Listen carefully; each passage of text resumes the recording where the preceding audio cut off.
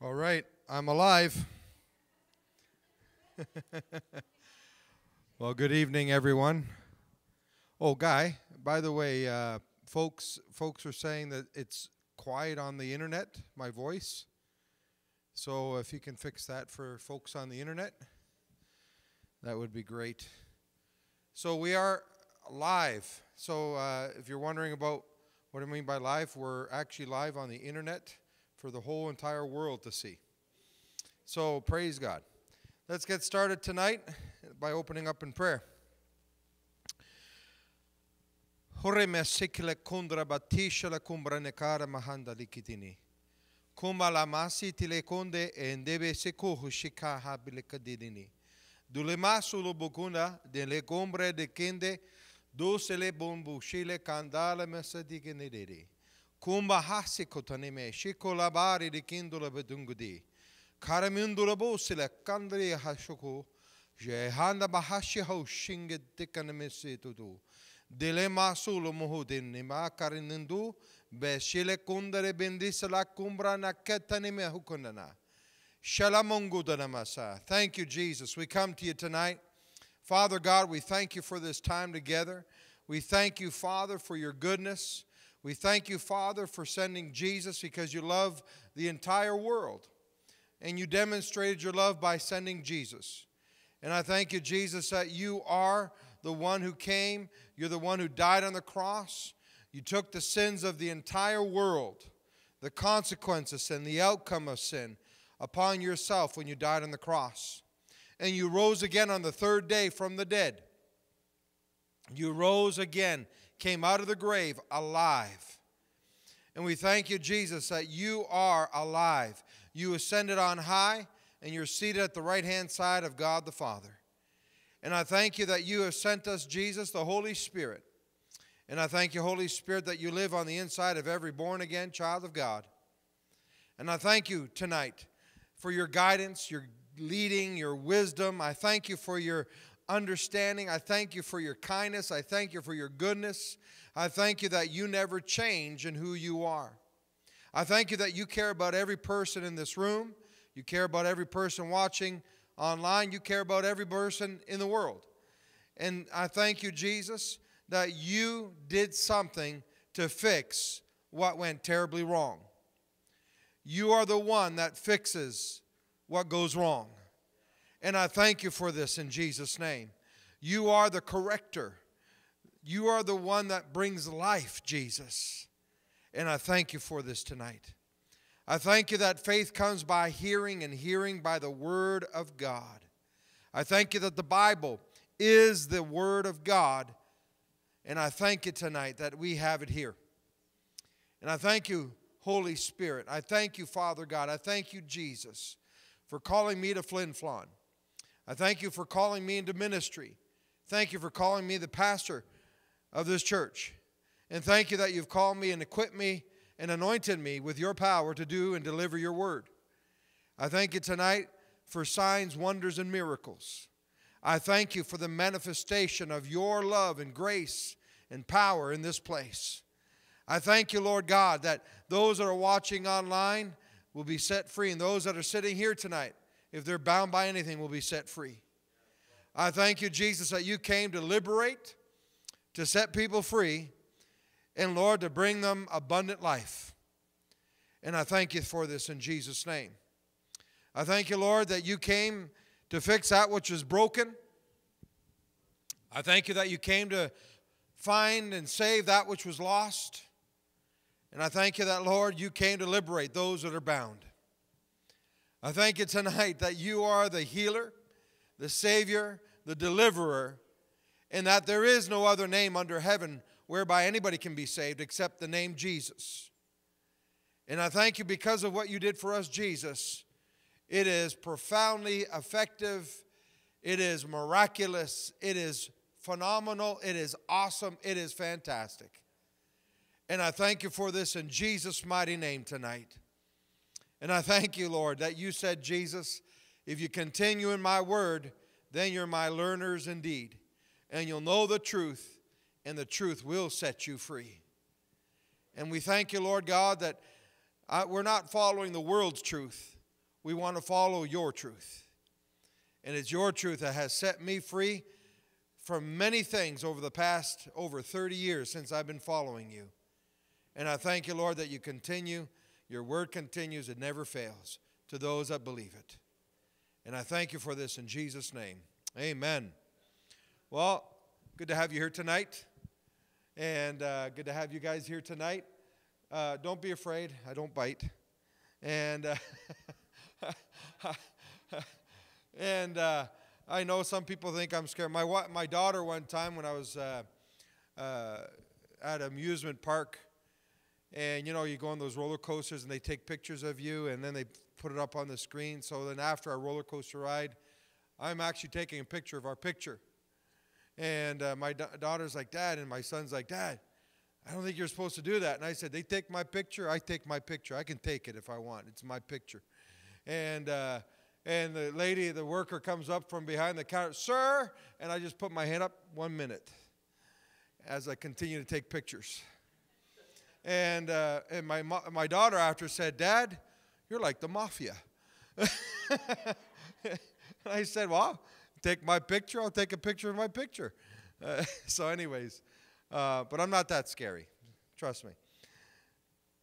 If you have your Bibles tonight, we're going to get into the Word of God.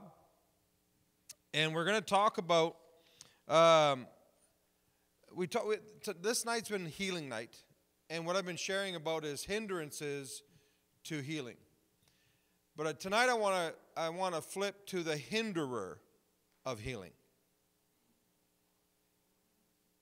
Tonight I want to fo- I want to help you guys understand there's a hinderer to healing just like it's the same one that hinders people's salvation or hinders people's deliverance or people there's a hinderer. But the good news there's a good news about that tonight that Jesus came to destroy the works of the hinderer. And that's the good news because he's already done it. He's not going to be doing it. He's already done it and those that believe in Jesus and exercise the authority that they have in Christ Jesus, because He's a winner. Jesus is the winner. He's on top of everything else. Uh, the Bible says that He is seated above the principalities and powers. He's seated above every authority. He's seated over every power. He is seated over everything. And people say, well, if He's seated over everything, why is there bad things happening in this world? Because He's coming back in Revelations to finalize the job. Revelations it's called the second coming of Christ. It's coming. And right, right now, what we're seeing in the world, there, there's a, a ton of scriptures. Remember, this Bible was written over a period of 4,000 years ago. And, uh, and so, because this book has been written over 4,000 years and, and over a span of about 2,000 years, between the first pages to the last pages, the writers in between, over 60 writers uh, that wrote the Bible, and, uh, and yet there's a theme from the beginning to the end. And why is that? Because even though there's that many different people that wrote the Bible, the author is the Holy Spirit. The author is God. And, uh, and so we have the Bible, and it's the most accurately written historical document.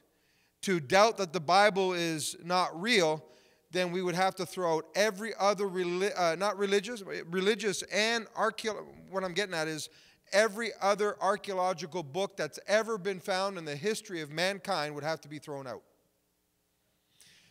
This is the most accurate, archaeologically, most accurate, most complete document on planet Earth. And to come and say that the Bible is not true, is an ignorant person who doesn't know archaeology, doesn't know the facts, doesn't know. Did you know that this book actually talked about scientific things before science figured it out? This Bible is a most accurate book on planet Earth. It's because the author of the book is God. And when people get a hold of the Bible and what's written inside the Bible and get a hold of it on the inside of themselves, dynamic things start happening. When I was 13 years old, I was an atheist. I, I, I called myself an atheist. I said I didn't believe in any God. And, uh, and then I was wanting to commit suicide. And, uh, and um, before I committed uh, suicide, actually, I was going to try to commit suicide at home and then uh, with a knife. And then my mom knocked at the door and I yelled at her, What do you want? And she said, I'm just checking to see if you're alive. So then I thought, Well, I'm going to figure out how I'm going to commit suicide. I'm going to borrow my neighbor's shotgun, tell him I'm going to go hunting. I mean, these are the thoughts that was going through my head. And I'm going to go in the bush and blow my head off. And these were the thoughts that I was going through my head. And, uh, and before, and I actually marked it down on the calendar when I was going to do it. I put it in a calendar. I marked it down. I said, This is the day. And a week before that day, uh, a friend of mine came over and told me about Jesus. And when I received Jesus into my heart, my world changed. And my world has changed ever since then. Changed for the better. Has there been challenges? Have I had difficulties and problems? Yes, but I've overcome every one of them with the Lord Savior Jesus Christ. And, I, and what I'm teaching here tonight is how you can be victorious, how you can overcome. So, you ready to get in the Word tonight? Ephesians chapter 6, verse 10 to 18 uh, tells us some pretty dynamic things. So, tonight we want to talk about the hinderer of, uh, to healing, the hinderer to healing. So, Ephesians chapter 6, verse 10 to 18. Now, I, have been sharing why, hindrances to healing, and, and that was focusing on us as, as believers in receiving healing. And, uh, but let's talk about the one who brings the sickness and hinders people from receiving healing when they're not walking in faith and not walking in love or not walking in hope. Actually, you need all three faith, hope, and love. 1 Corinthians chapter 13 says, Now these three things remain faith, hope, and love, but the greatest of these is love. And why is love so important? Faith will not work when it's not operating in love. So if you have unforgiveness towards somebody, and you could be you could believe the bible you can believe and you can be saying all the right things and be and you can be hearing all the right things and all of a sudden uh, uh, it's still not working. Your prayers aren't going anywhere. Nothing's happening. Why? Because faith must be in operation for a prayer to work. The, uh, prayers don't make the difference. It's the prayer of faith that makes a difference and there's a lot of people that pray and nothing happens it's like rubbing two nickels together and hoping you're going to make a million dollars out of it Never going to happen.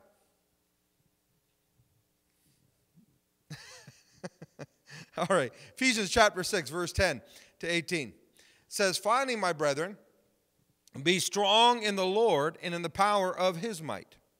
Verse 11 says, Put on the whole armor of God that you may be able to stand against the wiles of the devil or the attacks of the devil.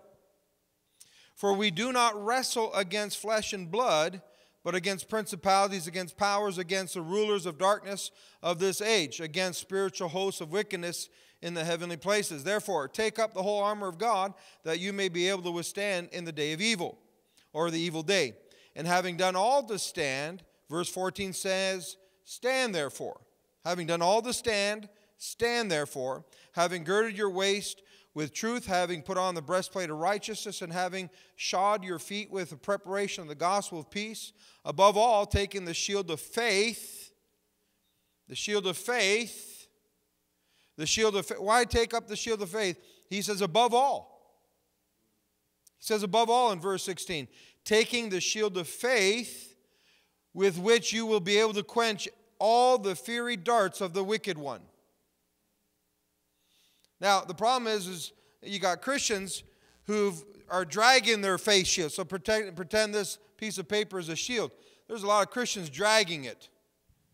They're not holding it up. They're dragging it. Okay? They got, they got the faith, but they're dragging their faith. Right? And they're getting peppered by the darts of the devil. And then they're wondering why everything's falling apart. Why everything's, well, the shield of faith is missing. You got yourself wide open for all the peppery darts of, uh, darts of the devil being thrown at you. So then it goes on and says um, in verse 17, and take the helmet of salvation, which is knowing salvation, and the sword of the Spirit, which is the word of God, which is the word of God, the sword, uh, which is the word of God, praying always with all prayer and supplication in the Spirit. You notice in the Spirit. Whenever you see the phraseology in the Spirit, it actually means to be praying in, the, in other tongues. The Bible talks about it. That uh, in, in Mark chapter 16, he says, These signs will follow them that believe. In my name, they will cast out devils and they will speak in other tongues. It's in the Bible. Praise God. So we're seeing this sort of thing in the Bible. So uh, we see in Ephesians chapter 6 that it says there in verse 11, I'll just go back over it again, again says uh, that um, put on the whole armor of God that you may be able to stand against the wiles of the devil. Okay, so put on the whole armor of God. It's not actually going and, and putting on a physical suit, it's putting on the knowing, the new man. Because there's another scripture that says, put on the new man. In other words, walk out. If you're born again child of God, walk out your new birth life in the faith. How did you get saved? By faith in what Jesus did. How did you get saved? By receiving Jesus, by believing and receiving Jesus in your heart, you became born again. Jesus said, You can't see the kingdom of God unless you're born again. So, so we see these things in the, in the scripture, and when we un- grab hold of them, praise God, things start happening and start changing for good. Bad things happen. Why do bad things happen? Because we live in a sinful, fallen world. When did this fallen, sinful world happen?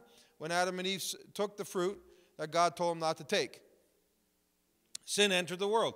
God said, If you take the fruit, you shall surely cause death. Well, when they took that fruit, death caused, was caused and death started happening and, uh, and being uh, affecting everything on this planet.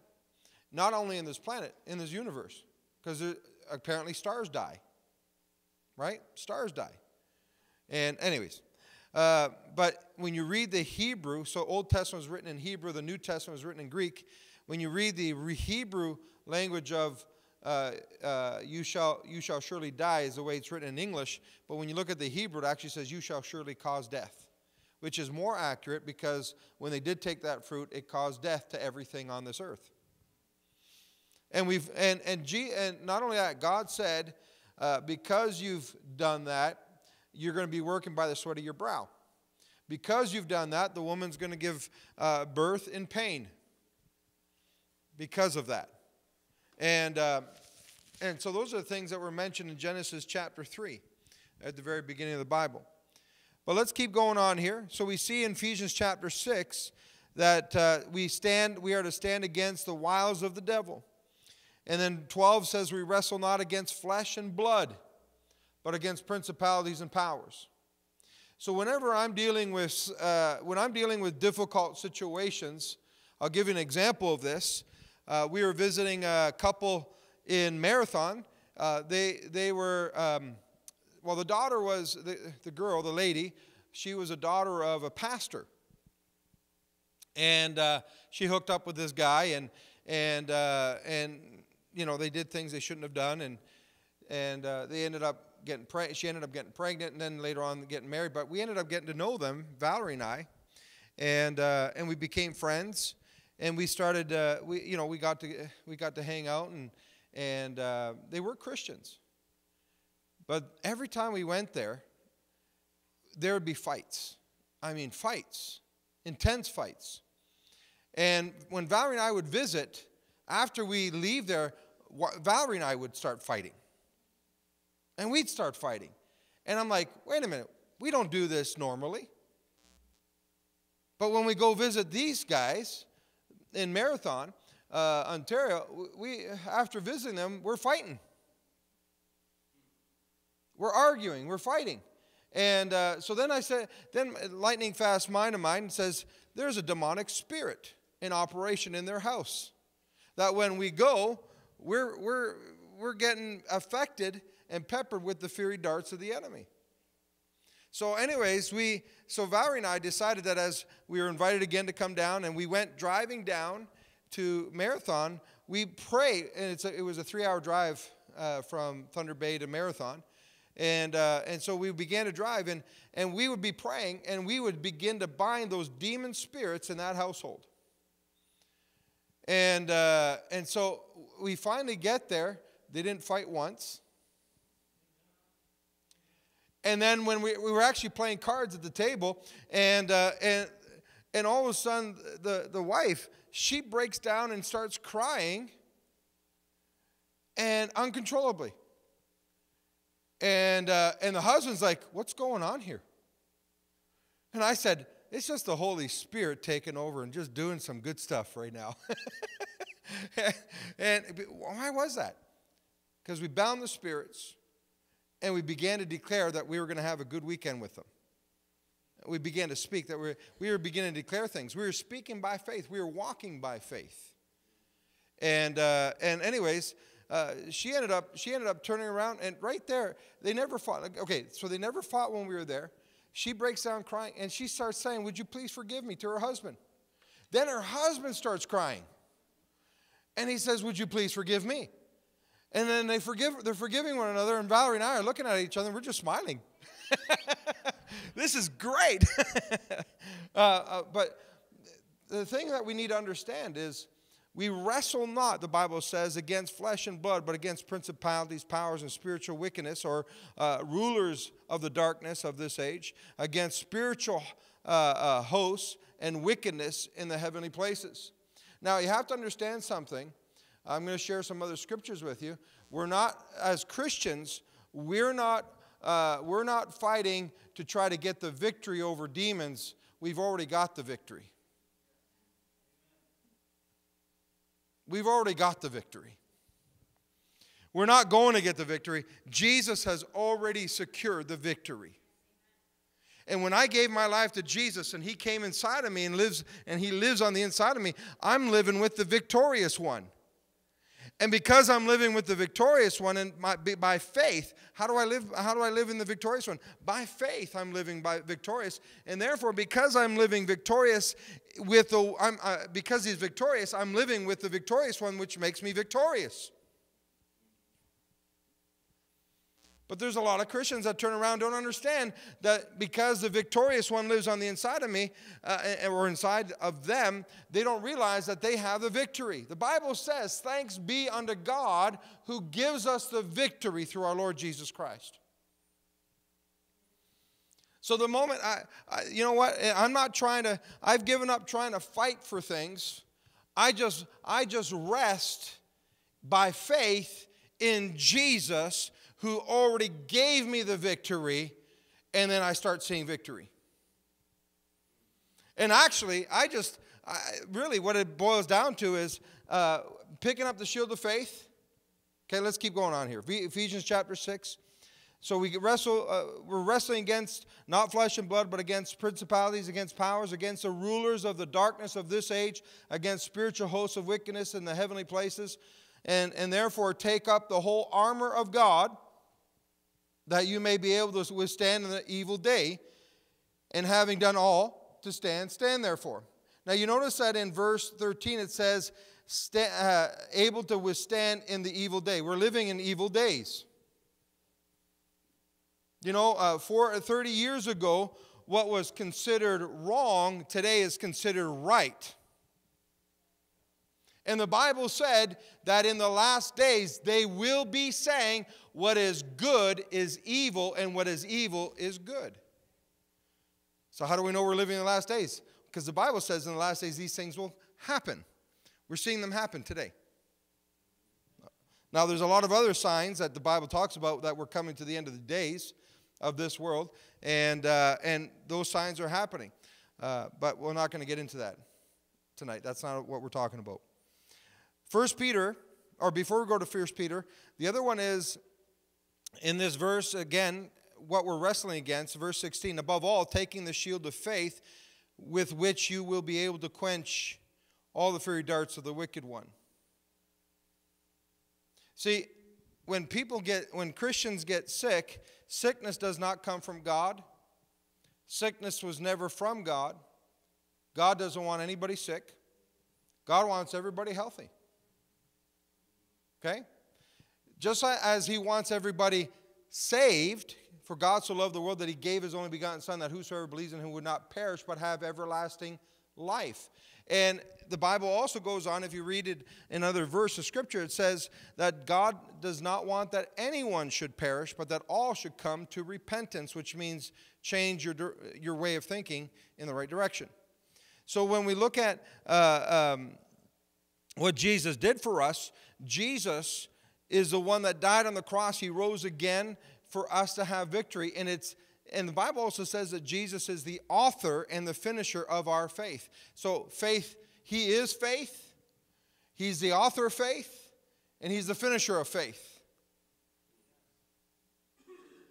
When I received Jesus, when I heard about Jesus, faith came, the faith of God came to my heart to receive Jesus.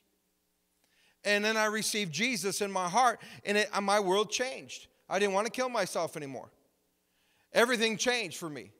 I cha- my life changed. And, uh, and what happened was, I mean, everything changed. The, the colors changed. The blue sky was bluer, the green grass was greener. Everything seemed to be clearer, sharper, brighter. And I'm like, wow, I don't know why anybody wouldn't want this. and I'm, everything, it was like I was living in a box. But when I asked Jesus in my heart, it's like those walls of those boxes fell down. It was like I had, before, it was like I had chains on me. I felt like I was weighed down. But when I gave my life to Jesus, the chains popped off and I felt so light. It's, it's a awesome, awesome. I, listen, Getting drunk will never give you this. Getting high will never give you this with drugs. Uh, Jesus is my high. It's better to get drunk in the Holy Ghost because there's no after effects. One time we were, uh, the Bible says that in Acts chapter 2, the, that the disciples, they were, Jesus said, wait here till you receive power from on high. For the Holy Spirit will come upon you and be witnesses for me in Jerusalem and Judea and to the uttermost parts of the earth. And so the disciples, there's 120 uh, 20 of them that waited in the upper room. And on the day of Pentecost, they were all filled with the Holy Spirit and they all began to speak in other tongues. And then, uh, then the people around in the city were hearing this and they came around to check it out and they said, Wow, these people are drunk. And, uh, and, and, the, and, the, and Peter gets up uh, and says, uh, We're not drunk as you think, but this is that which was spoken of in the Old Testament by the prophet Joel. And he talked about being uh, filled with the Holy Spirit, that we would have, uh, and he just began to preach on a message of what Joel said, that we would uh, uh be changed by the power of the Holy Spirit, we'd be filled with the Holy Spirit, we'd be filled with the power of God. And so everybody thought we were drunk. So one day we were uh, at church and Atikokan. That's where I was pastoring before. And uh, we had uh, uh just an awesome time with God. And Mrs. Uh, Trudeau, I was driving Mrs. Trudeau home. And, uh, and we, were la- we were just we were laughing. We were just bubbly and giggly, and we were laughing. We were just laughing, just having a good time, and with God. And um, anyways, we we were, as I was driving her home, there was a police stop check place point, you know, for drunk drivers, checking for drunk drivers. And, uh, and so, we, so I thought how funny this was. I mean, both me and Mrs. Trudeau are just laughing away. And uh, we drive up, and, and uh, the, the officer looks in, says, Have you had anything to drink? And we just burst out laughing. We just burst out laughing. We said, We sure have. and, and, the, and the cop was a Christian, and he, and he knew us. And he looked at us. He says, Oh, you two, go on, get out of here, he said. but anyhow, God is good God. And then when we see that the, the Bible says, pick up the shield of faith, or uh, above all, it says above all, take up, taking the shield of faith in verse 16. It says, with with which you will be able to quench all the fiery darts of the wicked. Now, the good news is having the shield of faith up, you're going to stop every dart of the devil. It's going to stop it. It quenches it, stops it from being any uh, being effective in harming you. But why are Christians being harmed? Because they dropped their shield of faith and they're dragging it. Right? They're dragging their shield of faith and they're getting peppered. Oh, yeah, thank you for enthusiasm tonight. So first, First Peter chapter 5, verse 5 to 9, another portion of scripture talking about the enemy. It says, uh, but starting at verse 5, it says this in First Peter chapter 5, verse 5. It says, Likewise, you younger people, submit yourself to your pastors. Okay? The word translated is elders, but if you look at the Greek word, it actually means pastor. Doesn't mean old person, it means pastor. And so in 1 Peter chapter 5 verse 5 says, "Likewise you younger people submit yourself to your pastors. Yes, all of you be submissive to one another and be clothed with humility." Why be clothed with humility? For God resists the proud but gives grace to the humble. What's what's grace? Well, the, uh, Paul writes in, in um, 2 Corinthians chapter 12, 11, 12, 13. Just read all of 1 Corinthians or 2 Corinthians and you'll find it there. But it says that uh, Paul was being attacked by the devil. Okay, let's turn there so you can see it. This is in 2 Peter, or 2nd, not Peter, 2 Corinthians chapter 12 and, uh, and verse 7. And I'm going to read this from the King James Version because I, I find that it's the most accurate to the original language of the Greek. Uh, it writes it this way Unless I should be exalted above measure through the abundance of the revelations. So Paul was getting, uh, God was revealing things to Paul abundantly. He was getting the down download from God. And he was getting a lot of download from God. And, and what it was doing was causing him to be exalted. Now, don't get confused here. A lot of, a lot of translations talks about pride or it insinuates it's about pride here, but it's not. It cannot be pride. Okay? God resists the proud, but he gives grace to the humble, it says in uh, Peter. And so, and James actually says the same thing. God, God uh, resists the proud, but he gives grace to humble. And uh, but if you keep reading in Peter, he says, "Therefore, humble yourself." This is in verse six, chapter five, verse six, in in Peter, First Peter says, "Therefore, humble yourself under the mighty hand of God, that He may exalt you, that He may exalt you in due time." It's not about pride, because God resists the proud. So why would God elevate somebody to be proud? So it's not talking about pride. Because God resists the proud. And God's not going to elevate you to pride so he can resist you. Doesn't make sense. All right.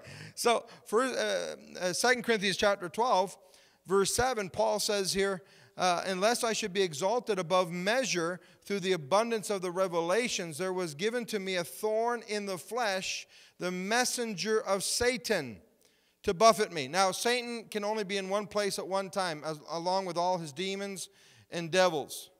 They can only be, just like you can only be in one place at one time, devils and demons can only be in one place at one time. They are not the Holy Spirit of God who's everywhere.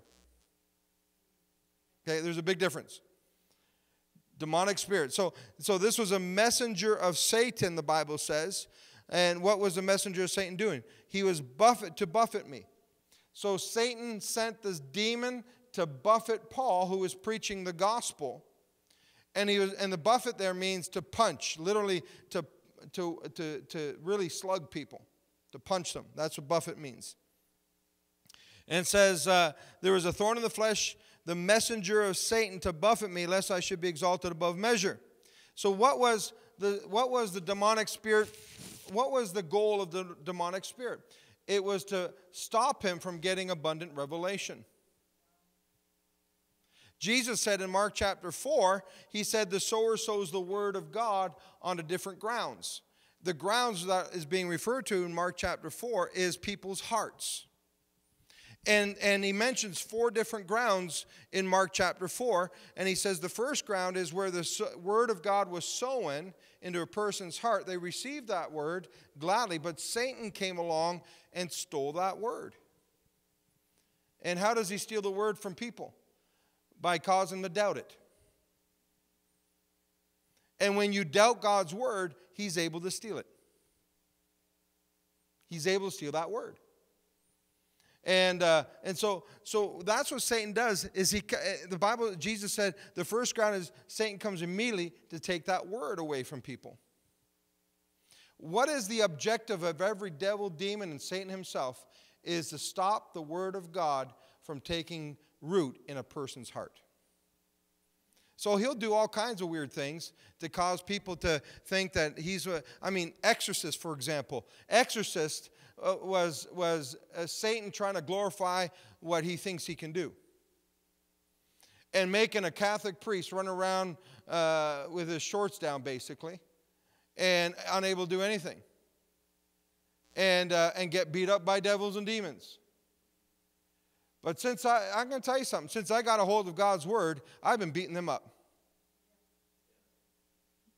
I don't tolerate them. I don't, because I know my authority in Jesus. Are you here? As believers, we ought to know our authority. Because the Bible says that Jesus is seated in the heavenlies with the Father above all these principalities and powers. Then it goes on and says, if you keep reading down from uh, uh Ephesians chapter 1 into chapter 2, it says that we have been seated with Him in the heavenlies. So when I gave my life to Jesus, I am actually seated with Jesus in the heavenlies above the principalities and powers. I'm not fighting devils and demons from a losing position to try to get winning position. I'm fighting from a winning position and exercising authority of that winning over that demon. All right. Thank you for your enthusiasm. Now, let's keep reading. 2 Corinthians chapter 12 and verse 8. So, so we see here that the, verse 7 talks about uh, lest I should be exalted above, uh, uh, exalted above measure through the abundance of the revelations of what he was he getting from God's word, uh, from God. Uh, there was given to me a thorn in the flesh, the messenger of Satan, to buffet me, lest I should be exalted above measure. Then, verse 8, he says, For this thing I, I besought, or I went to the Lord three times that it would depart from me. So he went to God, and he's like, God, make this stop. Now, what was God's response to his prayer? In verse 9, he says, And this is what God said My grace is sufficient for you. That's very powerful, by the way. So, what is grace? Well, he goes on and says, For my strength is made perfect in weakness. Most gladly, Paul then he, Paul responds to this by saying, Most gladly, therefore, will I rather glory in my weaknesses or in my infirmities, that the power of Christ may rest upon me. So when you come to the end of yourself, that's the great place to be. Because now God's grace can work. Are you here? So when you think that all, all is lost, uh uh-uh. uh No way. You know, I, I, thought my I thought family members were lost, but you know what? My family members have given their life to Jesus, every one of them. My sister, she thought I was a, so I have two older sisters, and, um, and my second oldest sister, closer to me, and myself, we got saved around the same time. So when I was thinking of committing suicide, the friend came and told me about Jesus. I gave my life to Jesus. And, and that Sunday, I went to church. And when the pastor said, Come up, anybody wants to receive Jesus in life, I went up to make it a public statement that I've received, I want Jesus in my life. And I did that. My sister, it wasn't too long that she gave her life to Jesus, my second oldest sister. My oldest sister, she's like, You guys are a bunch of freaks. You guys are nut jobs. You guys are weirdos. You know, like she was like, You went too far because we went to church all the time. I still go to church all the time. Uh, it never changed. I am still going to church. But, uh, but you know, it, there was a dynamic change in my life because I came into contact with a God who's in love with me, who cares about me, who it loves everybody, cares about everybody. But I mean, I came in contact. I, I'm not, this is not about a religion. I'm not here to promote religion. I hate religion. I'm here to promote a relationship. And that relationship is in Jesus, it's in God. Jesus actually took the wall that separated us from God, which was sin. Sin separated us from God. Jesus died on the cross and rose again to remove that sin from our lives. God is not mad at the world anymore. God is not mad at the world. He has, the Bible says that, that uh, He has given us a ministry of reconciliation, which is what? That God was personally in Christ Jesus, reconciling the world to Himself, forgiving the world its sins, and not holding the sins against them anymore, but restoring the world to favor with Himself. And then giving us a ministry of reconciliation, which is to go out and tell people that God's not mad at you anymore. Well, why are all these bad things happening? It's because there's an enemy who wants you to be defeated. Uh, the Bible says in John 10 10 that the thief, which is the devil, the thief comes to steal, kill, destroy. That's his that's his, the, the motive operandum of the devil is to steal, kill, and destroy. But Jesus then said, But I've come to bring life, and that more abundantly. My God is not a killer. Let me say that again. My God is not a killer. He gets blamed for a lot of killings. He's not behind any one of them because he's a good, good God. He's a good, good God. I remember one time there was a, um, uh, actually, it was here. We prayed. Uh, Jim Christian, um, there was a hurricane that was going to hit this area, and there was uh, Christians that said, Would you pray with us and agree with us? Jim sent that message to us, and we prayed together and when we prayed, that storm actually shifted away from that community. After we prayed. Okay. Okay. That went over like a lead balloon. Anyways. but God said, My grace is sufficient. The word sufficient there in the Greek means more than enough. In other words, no matter what the devil tries to throw at me, the grace of God in my life is greater than whatever the devil can throw at my life. Yeah, he's tried to kill me. Yeah, he's tried to kill me. Yeah, he's tried to kill my kids. He's tried to steal from me. But we took a firm stand. This is my son st- sitting on the camera, behind the camera. He should be dead. I told you the story, uh, Matt, but he should be dead. Because the doctor, when my wife was pregnant with him, he should have been, he should have been aborted. The doctor said that he, there's a tubal pregnancy. She, my wife was bleeding and having pains. And, and uh, when the doctor said, we'll have to abort them, I said, no. And the doctor trying to explain to me, you don't understand, Mr. Mantilla. And I said, and, and she's trying to explain that if, the, if we don't abort the baby, not only will the baby die, but your wife will die also. Because as it grows in that tube, it's going to it's gonna cause a rupture and kill your wife as well. And, and so she was trying to explain this to me, and I said, no. And she's like, You don't understand, Mr. Mantilla. And I looked at the doctor and I said, No, you don't understand.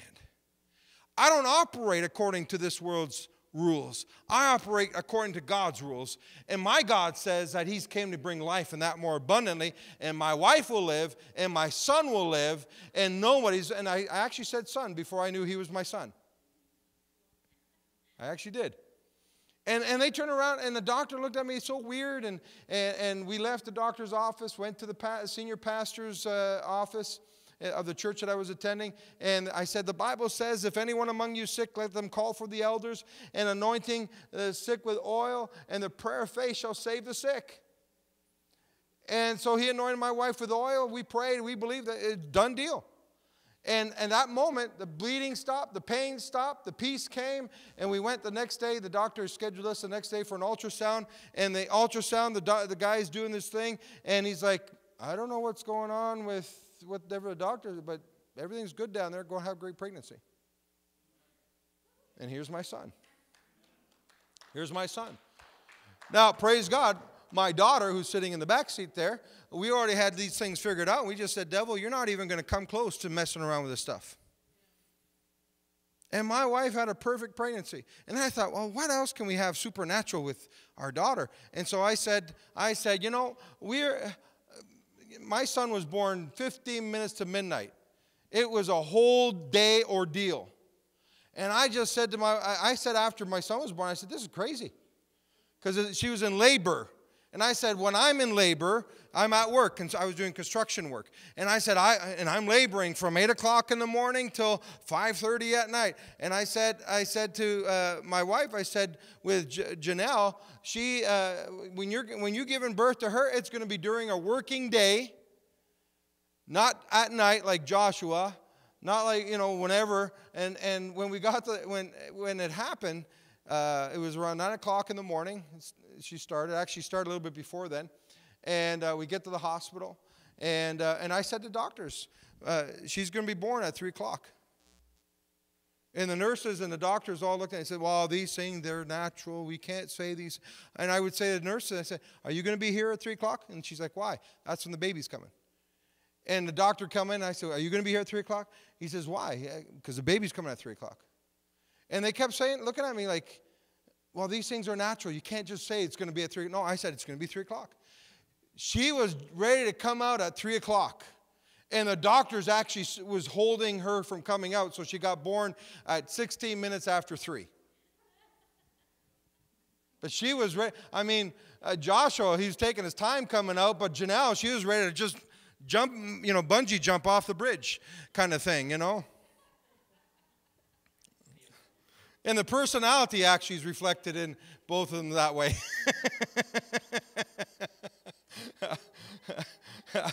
Josh has to process things. Janelle's like, let's just do it.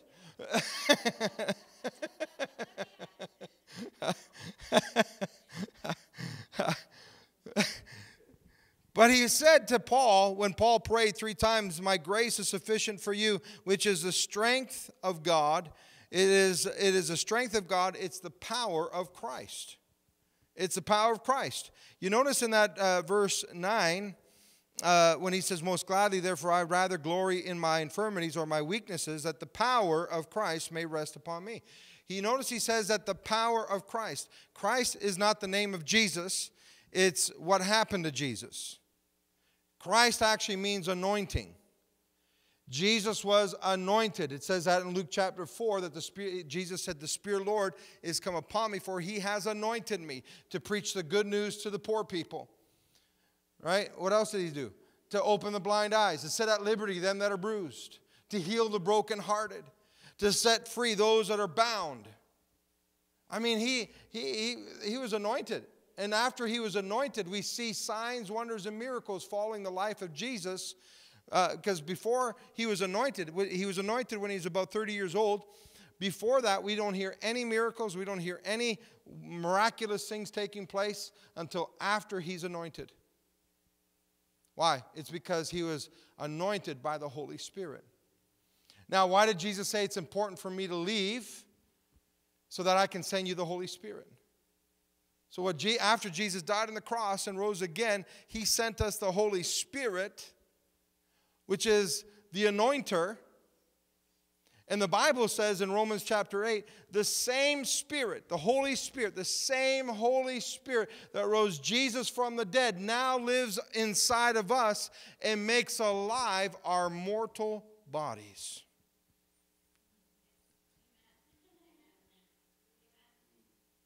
Oh, huh. listen, I worked all day.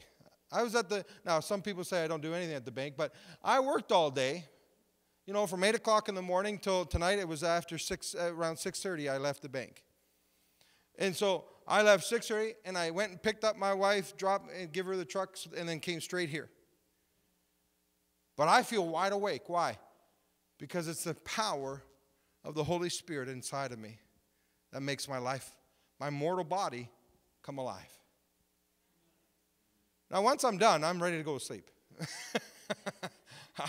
I'm ready to go to sleep. But you know, here we see that the power of Christ, the grace is sufficient for me, for my strength is made perfect in weakness. Most gladly, therefore, I will rather glory in my infirmities or my weaknesses, that the power of Christ may rest upon me. It's the power of the anointing, the anointer. I want the you you trying to do this in your own strength. Listen, I I uh, okay, let me put it this way. Pastoring is the hardest job on earth. Some people are like, really? You don't get paid very good? Well, at least I haven't. A lot of pastors are experiencing that. They don't get paid very good. And that's why I work at an, another job. Would I work full time pastoring? I don't know. I've been working part time pastoring for 30 years, so I kind of got used to this.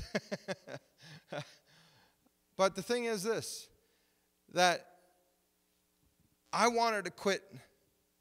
I probably, if you calculated, if, if God could show me the number of how many times I thought about quitting, pastoring, it was probably close to between two to 10,000 times in 30 years. There's days I come to I came to church and I'm like, I don't want to be here. Especially when you got the a few of the folks that were sitting there looking at you like this. And they're supposed to be your biggest supporters.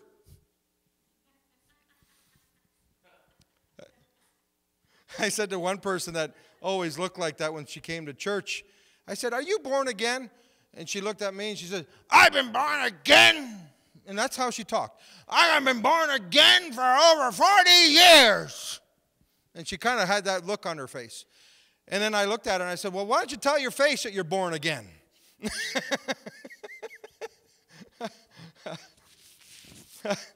she got offended over that, of course. And then she and then she invited me for lunch. and she at lunch she'd say, "You know I'm born again." I said, "Why are you so grumpy about it? You're a miserable cuss sometimes." I told her that straight to her face. You're a miserable cuss. You know, Jesus came to bring you life and that more abundantly, and it doesn't look like you have life and it doesn't look like you got it more abundantly. You're still wearing your husband's underwear that died 15 years ago. I mean, what's wrong with this picture?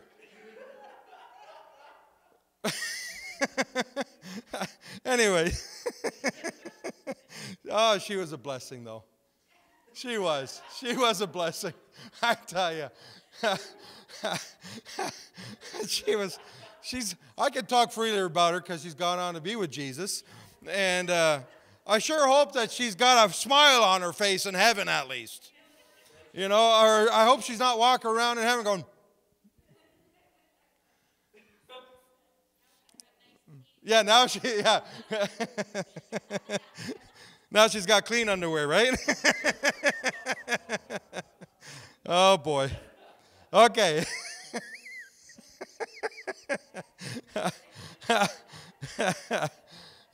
aren't you glad he gives us robes and uh, the, hey, that's biblical. He gives us robes, uh, clothing that's white, garments that are white, whiter than snow. So aren't you glad there's a good cleaning company in heaven?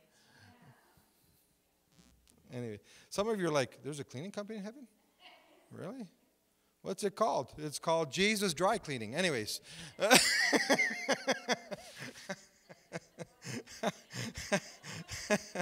okay, stop me now. I gotta stop right.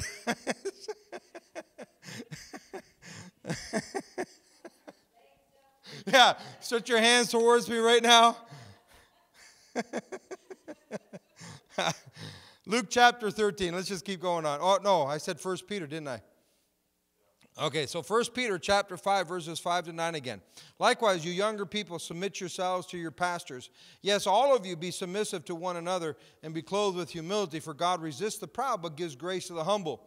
Therefore, humble yourself under the mighty hand of God, that he may exalt you in due time casting all your care upon him, for he cares for you. Aren't you glad for that?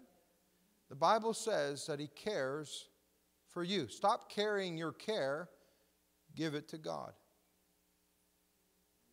Why does it look like I'm living a stress free life? Because I gave all my cares to God. He's got way bigger shoulders than I do, and capabilities more than me. He's got more strength, more power, more wisdom, more understanding. why am I keeping it? And why am I trying to figure it out? So I learned a long time ago that, you know, when my wife gave me problems, no, no, uh, because we've had, listen, we've had marital problems. But one of the things that I learned is surrendering, humbling myself first to God. And then God starts speaking to me about my marriage. And then he starts telling me, Well, you've been doing this. You've had this attitude. You need to bring that before me. And I did. I brought before God. I repented, which means change your way of thinking, which I did. And how do I change my way of thinking? By finding out what God's word says. Stop thinking the way I'm thinking. And I started agreeing with what the Bible was saying. And when that happened, it saved my marriage. It saved my marriage. Now, I can tell you, it's the same thing when Joshua, when they wanted to abort Joshua, me submitting my, my thoughts to what God says about how He's a life giver. How, if there's anyone among you sick, let them call for the elders. I submitted myself to what the Bible says and did what the Bible said to see positive results. It is God and His Word that saved my son, saved my marriage, saved my finances. My wife had cancer. All of you know this. Not all of you, but my wife had cancer. And when she was diagnosed, they did a biopsy of the spot, and doctor called us in right away. And while we were in the doctor's office, this is in Thunder Bay, Ontario, the doctor said it's cancer. It's, and because it's been here, you told us it was there for a number of years, or a couple of years, it's probably spread throughout your whole body. And my wife, my, my wife, I mean, my wife and I were hearing this at the same time from the doctor. And I looked at the doctor and I said, no.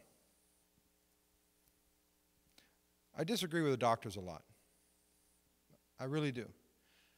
Because I'm agreeing with Dr. Jesus. And so my the doctor said the doctor started the we need to do blood work we need to do chemo uh, uh we get uh, not chemo but um, radi- we need to do a cat scan or what do you call that a big all they scan the whole body right? cat scan yeah no i think it was a cat scan i don't know whatever they scanned the whole body and uh, but after the doctor said that the first time i said no we stepped out of doctor's office we're in the hallway and I just took my wife by the hand and I said, Cancer is not in this body. I command it gone in the name of Jesus. Drove home from Thunder Bay back to Atikokan. And, uh, and then I took the oil out, and I, I'm, I'm a pastor, I'm an elder. And I anointed my wife with oil. Actually, I, I, put, uh, I put oil in my hand, and I told her, Put your feet in my hand. And as I was praying for her, the the oil started popping like popcorn. Never seen that before. You know? And I just, it started popping pop. And my wife, and then my wife said, I'm healed. Now we went and got blood work. And the blood work came back as no cancer. Then we went for the body, the, the body CAT scan, the full body CAT scan. We're sitting in the cancer clinic in Thunder Bay, and we're reading the Bible right there, and there's people in the room, and all of a sudden people start looking at us. What, are you doing? What are you reading there? We said, Oh, it's the Bible. Why are you reading the Bible? Oh, because we like hearing good news. That's what we said. We like hearing good news. The Bible's got lots of good news. And so I started reading the good news. And, and they said, Why are you here? Well, they want to do a body, a CAT scan of her body. Oh, then you must, it must be serious. One person, it must be. I said, no, no, she doesn't have cancer. That's why we talk. She doesn't have cancer. Now, a lot of people look at that and say, they're in denial. No, we were in faith. We were in faith. And we just said, no, she's, she's got no cancer. So she went in. They did the whole CAT scan, try to find where the cancer had spread, because that's what the doctor said it's probably spread. And um, came back as negative. No tumors, nothing to be found. The spot where they did the biopsy, the spot itself was actually shrinking and, and disappearing. And the doctor, and, and my wife says, because they scheduled her for an operation to have the spot removed and take out more. And, uh, and my wife said, uh, Do you really need to do that? It's shrinking. And the, and, the, and the receptionist to the surgeon's office said, What do you mean it's shrinking? That was the response. What do you mean it's shrinking? It's, it's getting smaller. Cancer doesn't get smaller, she said. I'm listening. My wife, I have her listening. I said, Well, this is. And she turned around and she says, Well, we still want to do the operation. So my, I said to my wife, I said, Well, go for the operation and, and, and, take, and do it. And she uh, went through the operation, and, and they actually said what they had removed, and it did, it did shrink, and what they had removed, they said it, they came back and they could not find cancer. That was over 10 years ago. That was over 10 years ago. Praise God. Now, praise God. Now, will sickness try to come on, uh, come against us and hit us? Yeah, it'll try. Where does it come from? Well, I'm so glad you asked. What time is it, anyways? Oh, okay. I better stop, eh? A little bit longer. Can you, can you bear a little bit longer? Is this okay? Okay. Luke chapter 13, verse 10. Oh, before I, I keep needing to finish 1 Peter chapter 5. It says, be, uh, after he said, casting all care upon him, for he cares for you, next verse in Peter, 1 Peter chapter 5, verse 8, says, Be sober, be vigilant, because your adversary, the devil, walks about like a roaring lion, lion seeking whom he may devour. The devil walks around like a roaring lion, seeking whom he may devour. He's not walking around seeking whom he may kill, because he's been stripped of that ability. He's looking for someone to, well, he's not stripped of that ability because he, he, he is given the power of death. Who's killing people? It's the devil. It's in the Bible. So, so the thing that we need to understand, though, is that as a believer in Jesus, if your face shield is down, you're not resist because the Bible says here, if you keep reading, be sober, be vigilant, because your adversary, the devil, walks about like a roaring lion, seeking whom he may devour. Resist him steadfast in the faith. So, how do you resist the devil? In faith. Not just because you say you believe, it's got to be faith that comes from you hearing God's word, because that's where faith comes from, is hearing and hearing the word of God. That's in Romans chapter 10, verse 17. Faith comes by hearing and hearing the word of God. And, and when you hear God's word, and, and, and how do you hear God's word? Jesus, remember Mark chapter 4, four different grounds Jesus talked about? The good ground, Jesus said, was the last ground he talked about. The good ground, or the good heart, is a person who hears the word and receives it. See, there's a lot of people that go to church, they hear the word, and there's some that don't receive it.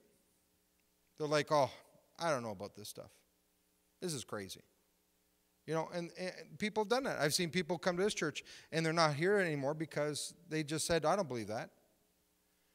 And unfortunately, because they had that response, they don't see any fruit of God's word manifest the good things of God's word manifesting in their life because they made a decision. And so the good ground is people who hear the word and receive it. And act on it, yeah. And act on it. Okay, so resist him steadfast in the faith. Luke chapter 13, verses 10 to 17 says this. Luke chapter 13, verse 10 to 17. I'll try to do this really fast. Now, he was teaching in one of the synagogues. This is Jesus. He was teaching in one of the synagogues on the Sabbath, which was Saturday.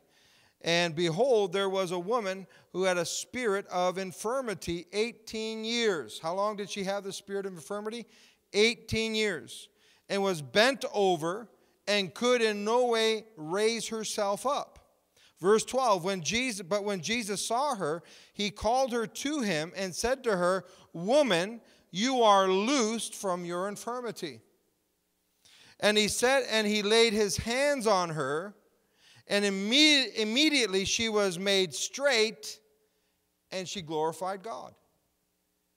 Now, verse 14 says, But the ruler of the synagogue, or the leaders in the synagogue, be, answered it with indignation. They were mad because Jesus had healed on the Sabbath, on the Saturday. And he said to the crowd, There are six, this is what the leader of the synagogue said, there are six days on which men ought to work. Therefore, come and be healed on on them and not on the Sabbath day, because the Sabbath day you're supposed to rest. Verse 15 And the Lord then answered him and said, Hypocrite. That's pretty offensive, Jesus. Hypocrite. Does not each of uh, each one of you on the Sabbath loose, loose his ox or his donkey from the stall and lead it away to water it? So ought not this woman, being a daughter, listen now, ought not this woman, being a daughter of Abraham, whom Satan has bound, whom Satan has bound. Think of it. For 18 years, Satan has bound this woman for 18 years with this sickness, this infirmity. Be loose, Jesus said. Ought not this woman, being a daughter of Abraham, whom Satan has bound, think of it, for 18 years, he be loose from this bond on the Sabbath? And when he said these things, all his adversaries were put to shame, and all the multitudes rejoiced for all the glorious things that were done by him. Now, Acts chapter 10, verse 38 says this How God anointed Jesus of Nazareth with the Holy Spirit and with power. The word power there is a Greek word dunamis, which means miracle working power. So God anointed Jesus of Nazareth with the Holy Spirit and with power, who went about doing good and healing all who were oppressed of the devil, for God was with him. That shows you right there that God is against the works of the devil. God is against the works of the devil. And this is why we see in 1 John chapter 3, verse 8, it says, uh, uh, He who sins is of the devil, for the devil has sinned from the beginning. For this purpose, or for this reason, the Son of God was manifested, or Jesus, the Son of God, was manifested that he destroy the works of the devil. The reason Jesus came was to destroy the works of the devil. So, the title of this message tonight is, is The hind, uh, Hinderer, Hinderer to Healing. Who's the hinderer to healing? The one who brings sickness on people. Same person. Who wants to keep you sick? It's the devil. Who wants to keep any per- who wants to keep people bound? The devil. Who wants to keep people in sin? The devil. Who wants to keep people uh, miser- miserable? The devil. The devil, he's out to steal, kill, and destroy. But Jesus has come to bring life in that more abundantly. My, my, uh, my sister, uh, who gave her life to Jesus the same time I did, she had a, a son who was born with cancer. And he died to cancer, and it was very hard. And um, at the age of, I think at the age of three, he, he died to cancer. And um, my sister was really broken over that. And she kind of was blaming God for it. And, uh, and she was fighting me. She'd come and she and, and I didn't want to say much to her because I didn't want to, you know, it's my sister. I didn't I didn't want, she was going through a hard time. And she was pushing, pressuring me and pressuring. She says, What do you say about this? And I'm like, I don't want to say anything about this. I don't want to say anything. I mean, it's hard. And the first thing I said to my sister is that I quoted that scripture The thief is the one who comes to steal, kill, and destroy. But Jesus has come to bring life and that more abundantly. I said, The good news is your son is in heaven with Jesus. That's the good news. And I said, And if you hang in there, sis, with Jesus, you're going to see your son one day. And I said, Just, and, and she looked, she kind of, you could see the fight was in her, but then all of a sudden she kind of, kind of just backed off and, and she said, You know, bro, you're right. You're right. I said, Don't condemn yourself, sis. And, and who is it that who is it that wants to destroy our lives? It's the devil. But thank God Jesus came to destroy the works of the devil. And that's what I'm here to do, sis, is to encourage you moving forward. I know it's hard. It affected me too. It's hard on me. It's hard on all of us in the family. But I want you to know something, sis, that you can stand up and move forward and continue to put your faith in Jesus because he's come to bring life and that more abundantly. Anybody get anything out of this tonight? I got a lot more scriptures here. Didn't get to all of them, but I got to the main ones. There is real demons and devils. There's real angels. I'll tell you some angel stories. When I was a little boy, and I was born and raised in Windsor, Ontario. There's Point Pelee. I don't know if you know Point Pelee. It's the, the most southern point of Canada, mainland, Point Pelee. Then there's Pelee Island, which is the most southern landmass of Canada. It's an island. But here we are on the beach in Point Pelee, and the way and there's there's undertows at this point, and they have signs, and they say don't go out past this point because you'll get dragged under and drown. And so they have these signs. So we, but the beach, you think they wouldn't put the beach close to it, right? But it was there.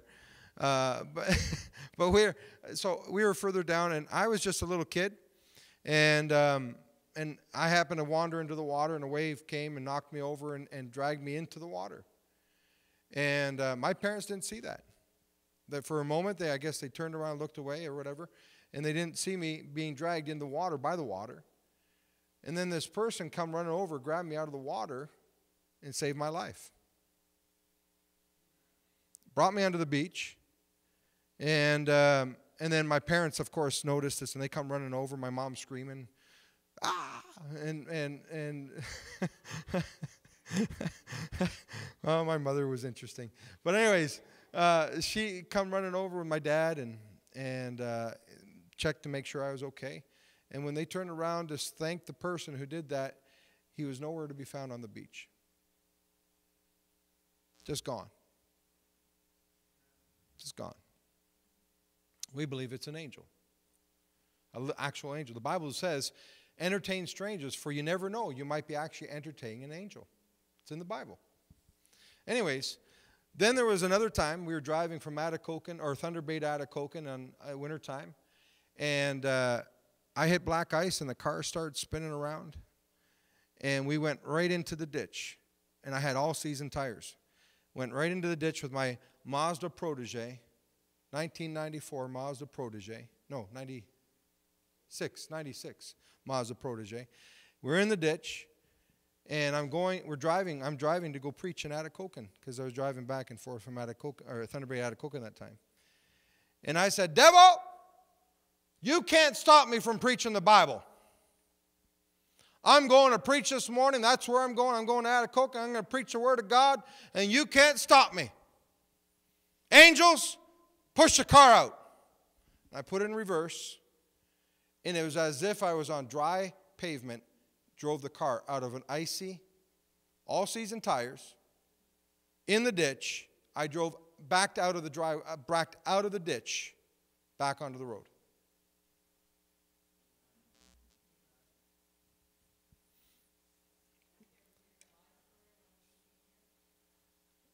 No.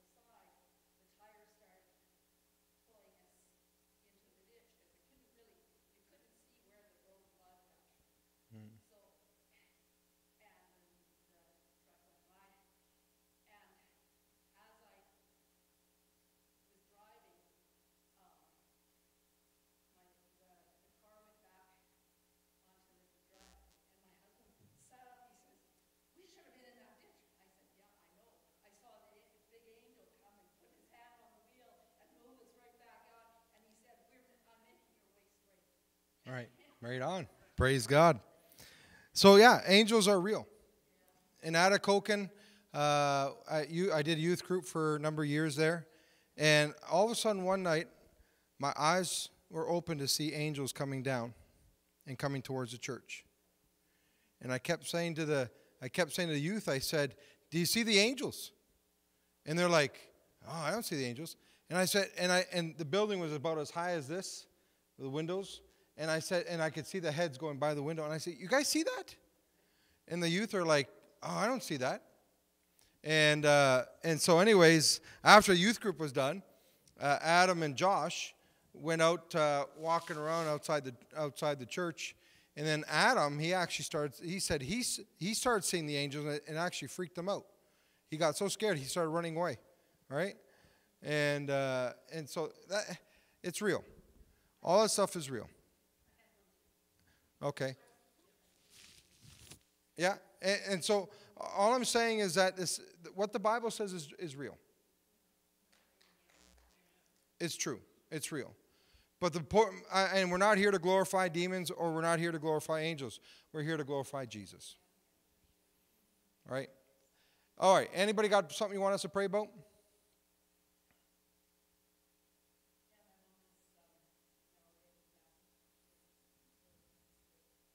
Okay.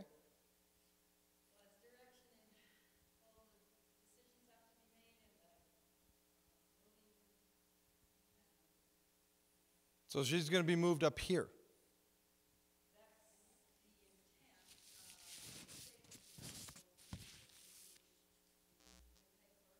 Okay.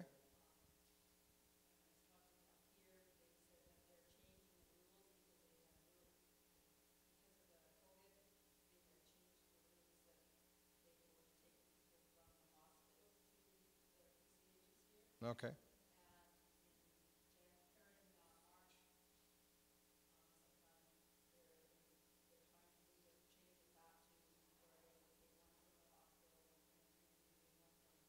Somewhere else.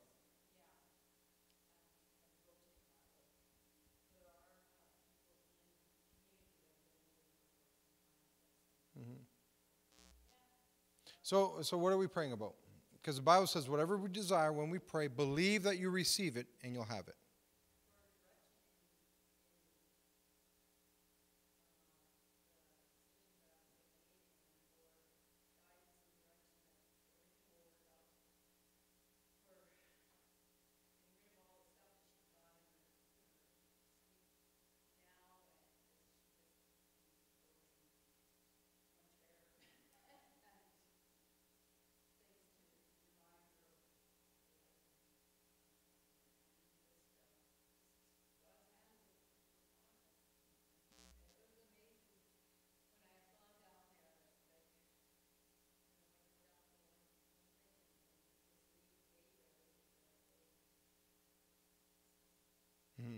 Yeah, good stuff. So let's pray for direction and guidance, is what I'm hearing.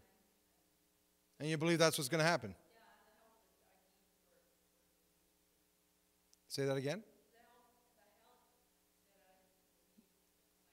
The help to move her. Okay.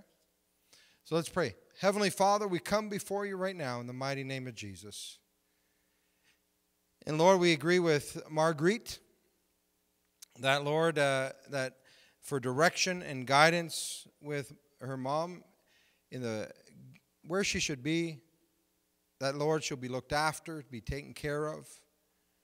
And Lord, we also thank you for the help that'll be there to help her to be moved.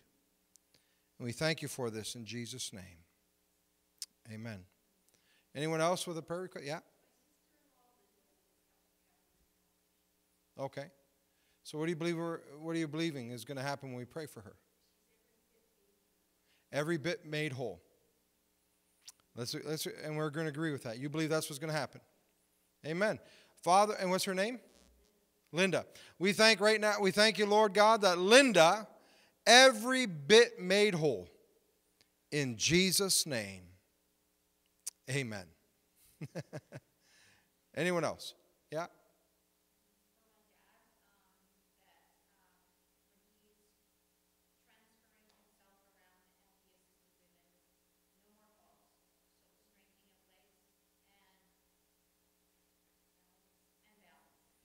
Do you believe that's what's going to happen? So, Father, we agree with Denise right now that strength in her dad's legs and that he'll be balanced and not fall. In Jesus' name. Amen. Then, uh, Mindy?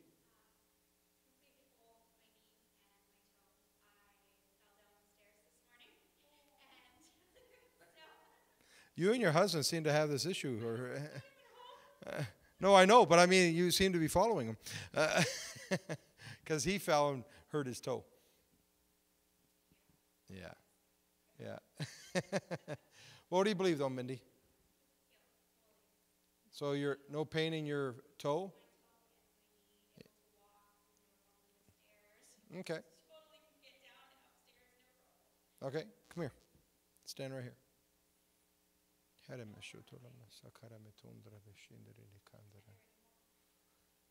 You've been healed lots, Mindy. Many times. I'm just going to ask the Holy Spirit how He wants to do this.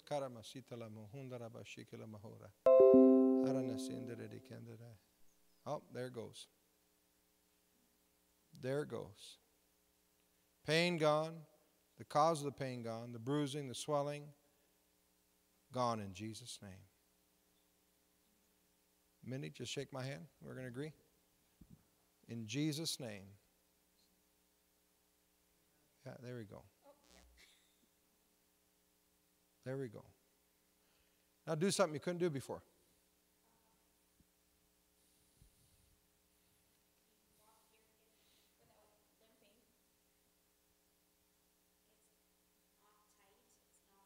So it was, there goes.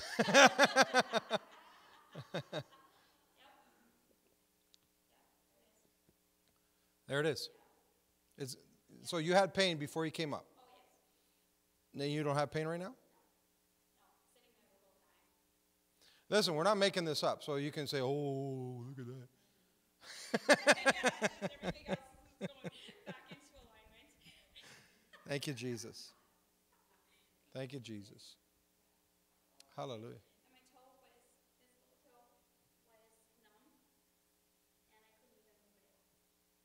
It's gone. The numbness is gone. Oh, praise God.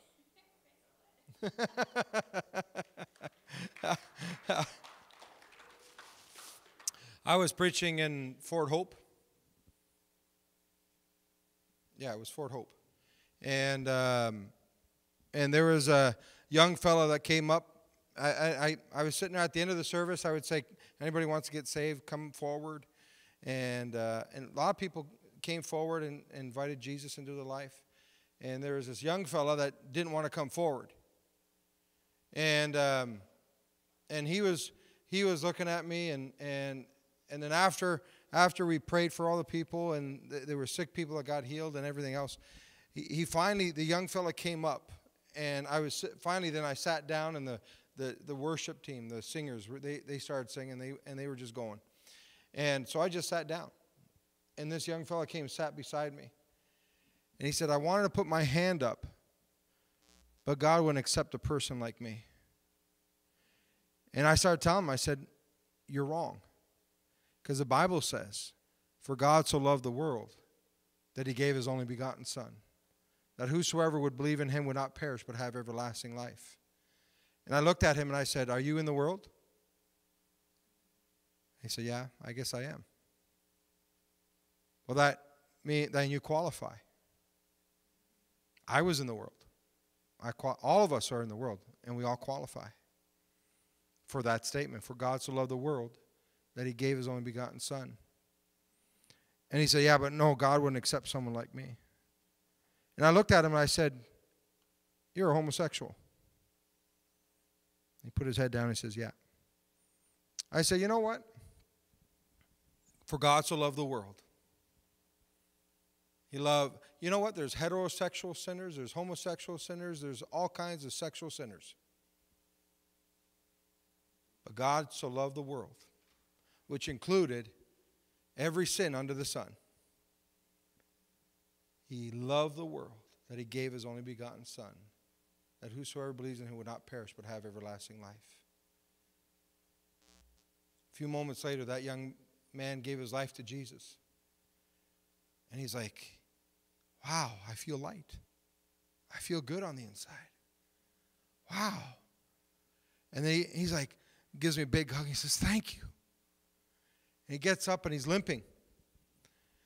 And I looked at him and said, You want to fix that too? You want Jesus to fix that? Oh, he wouldn't. Uh, he wouldn't want to fix something. Oh, we're going to go through this again. I said. So we're going to go through this again. I said, just as much as he wanted to save you, he wanted to heal you. And he did it both when he died on the cross and rose again. I said, So would you like to get rid of that? And he says, You bet. Anyways, prayed for him, and he got healed. And he got up and he stopped limping. And then I said, and he's like, oh. And he was more excited than you were, Minnie. I'm sorry, but he was really excited. And he just like, oh, oh. And he's like doing this and he's like doing this. And he's, and I said, why don't you just go run around the building? And he started running around the building. And everybody just started laughing and clapping. And Eh, a lot of people got excited that day, night because they saw this young man who they knew who he was. I didn't know who he was, but they knew who he was. But they also saw and knew what he had gone through and knew what happened for him to be limping. And God healed him. I was in Attawapiskat, another reserve, and uh, I told you guys this story. It just I remember it like it happened yesterday. I'm sitting there preaching like I am tonight, and there's people in the building, and this guy walks in from the community at night, like tonight, black, sunglasses on, walks right up, sits in a chair right behind me. And I'm like, yeah, I'm like, I'm like, okay, whatever. and I just keep preaching, right? And and uh, and then I said after the end, I said, anybody would like to give their life to Jesus, come on up. Or in his case, he came down because he was up on the stage. And he comes walking down and he stands right in front of me. He says, I said, You want to give your life to He says, Yeah, I, I, I want to give my life to Jesus. And, and as, he's, as I'm praying with him and leading him in a prayer of salvation, all of a sudden his leg is burning. And he's like, oh, oh. And he's like, and I'm like looking I said, what's going on? He said, my leg is burning.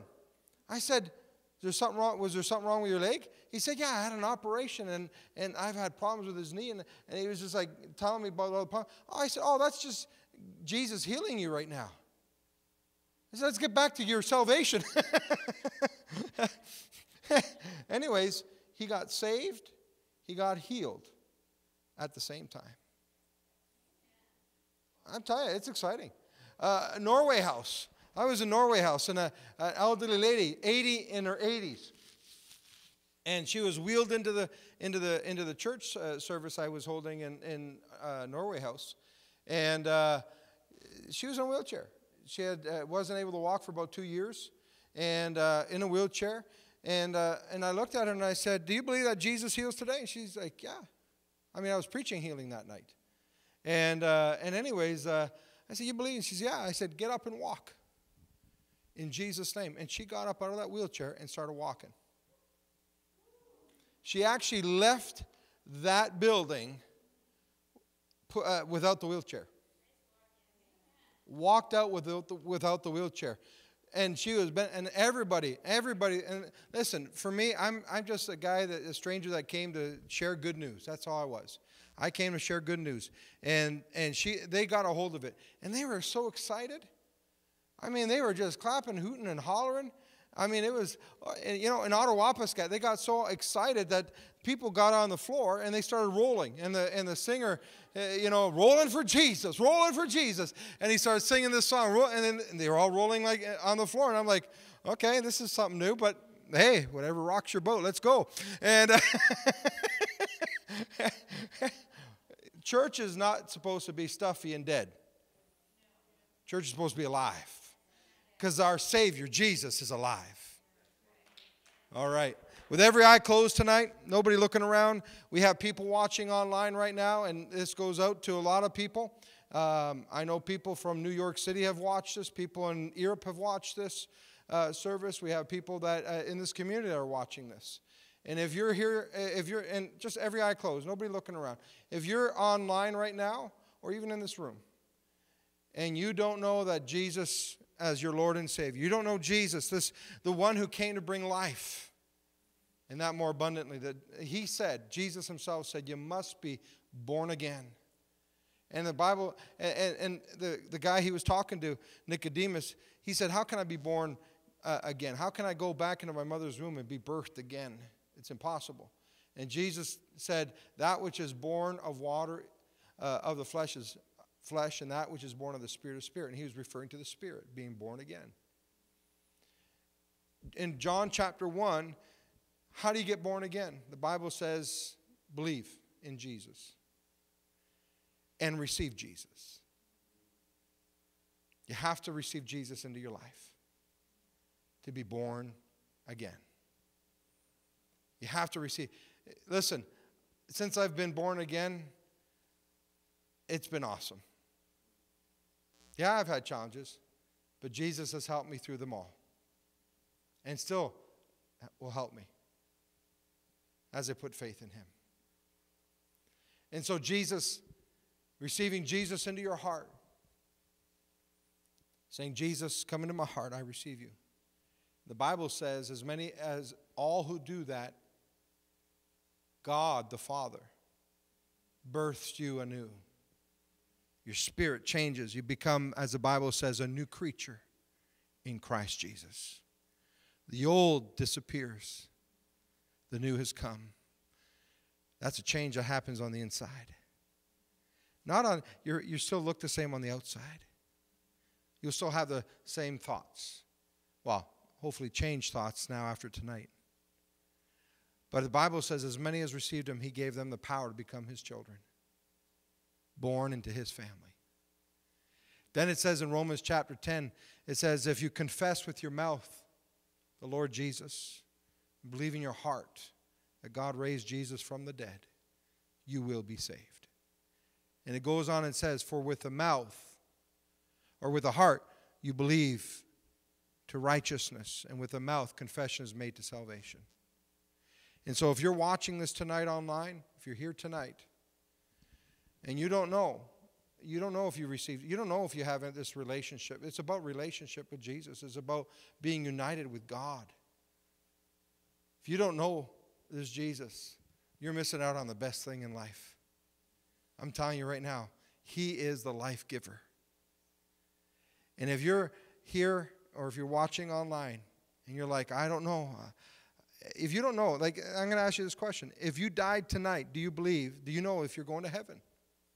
And if you're not sure, why not make it sure? How can I make it sure? By receiving Jesus into your life. So, if you're here or if you're watching online, I just want to put this out to you right now and ask you to repeat this prayer. If you want to receive Jesus, you want this newness of life, I want you to repeat this prayer after me.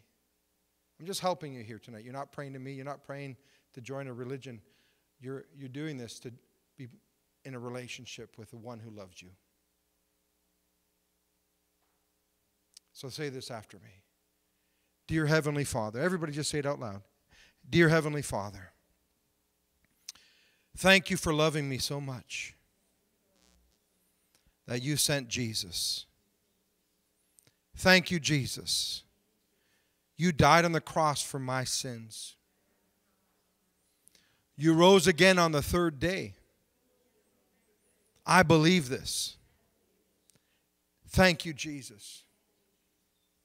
Jesus, I receive you into my heart. Come into my life. I welcome you tonight. In Jesus' name. Jesus is Lord. Jesus is Lord.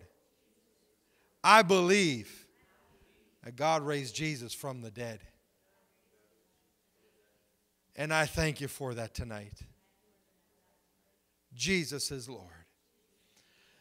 And I, I, I don't follow the works of darkness anymore. I'm done with that. I'm done with that. I don't belong to the devil. I'm free from sin. I've been delivered. I'm free. Because Jesus has now set me free. In Jesus' name, amen. I believe if you prayed that prayer, you're born again. I really do. It's exciting. I've seen a lot of people, I mean, every one of us have done it. Well, let's close in prayer tonight. Father, we thank you for this time together. We thank you for all your goodness. We thank you that you're our awesome God, a good God, a loving God. And I thank you that you never fail, you never change. And I thank you that you're always good. Lord, tonight, I thank you for everyone here. I thank you for those that are watching online. I thank you for healing tonight. I thank you for salvations tonight. I thank you, Lord, that you're a good, good God. And Lord, we thank you so much that you're an awesome God, that you are always with us. You said, I'll never leave you nor forsake you. I thank you that you're with us. And we give you all the praise, the glory, and the honor tonight. In Jesus' name, amen. And for those that have asked Jesus in your life, um, if you want, uh, we'll give you a booklet. Just email us at ffpa180 at gmail.com. That's the church's address. And we're going to and give us your address, and we'll send you uh, welcome to the family book. And if you don't have a Bible, let us know, and we'll get you a Bible. And, uh, and we're ready to hear from you. If you're here tonight and you want to get this material, just let us know. Guy's actually the one who has it in the back. Uh, you got them there, eh, Guy? Somewhere. we got them here. So if you're wanting those information, we can give it to you. That's not a problem. Anyways, thanks for coming here. Have a good night.